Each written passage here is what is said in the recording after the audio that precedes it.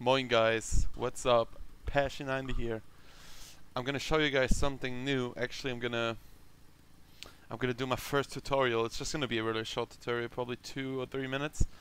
But it's about cam settings, and they're mainly really good um, tutorials about um, cam settings.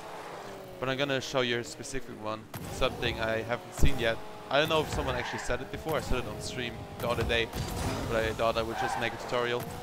So let's say you have your cam settings, and you wanna you wanna change FOV, or let's let's just say you wanna you wanna change your your camera settings in general, but then when you change them, you kind of have problems predicting um, backwards hits or like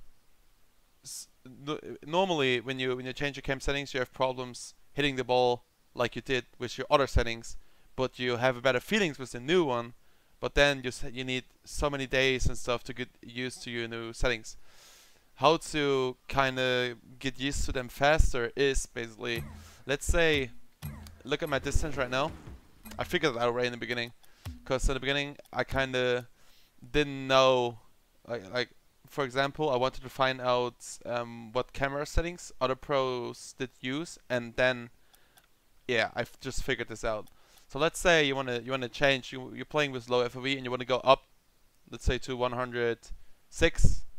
So you go no, actually 106. That's not really that good. Let's say we go to 107. So it's one, two, three, four, five, six. You're basically going six up, and you could say for two FOV points you go up. It's basically 10 distance. So I went up 6, so that means I would have to go down 30 distance and then I would still have the same distance. You know what I mean? I still have the same distance now. Like the distance I have now was the same as the 101, but just the FOV changed. I basically just changed the FOV and my distance is the same how it was. So basically, if you if you go up, or let's say I go down now, I go I want to play with 105 that means I will go up with 10 distance and like that I would have the same distance again. So it's very easy to get used to your new settings when you do this. And I hope that could help you out like this because that was actually something that always annoyed me and then I just figured that out and it's pretty useful. Yeah, and you can expect some new videos coming up since I'm streaming a lot currently. So yeah, I will for sure start doing YouTube again. Thanks for watching.